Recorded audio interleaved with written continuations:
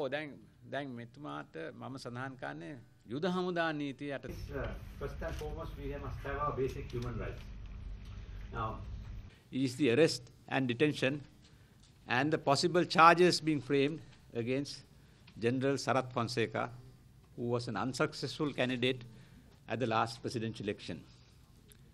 It is well known that the election was held on the 26th of January and he challenged the result of the election and the counting. all these laws that I have said will go up in smoke. The arrest detention of General Sarath Fonseka is contrary to Articles 13.1 and 13.2 of the Constitution, the Code of Criminal Procedure Act, the International Covenant for Civil and Political Rights, and the Universal Declaration of Human Rights. It is also contrary to the Army Act and the Chief of Defense Staff Act. Basic values are the first and foremost. We have to value the freedom to be one of my decisions, judgments I am prepared to justify anytime if someone were to raise that question. නෑ මේ හදිසි නීතිය කියන එක බොහොම ප්‍රශ්න